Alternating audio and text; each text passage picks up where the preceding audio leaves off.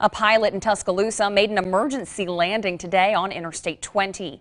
It happened around mile marker 70 just before 4 o'clock this afternoon. Traffic on the highway was stopped for a bit, but here's some good news. No one was injured.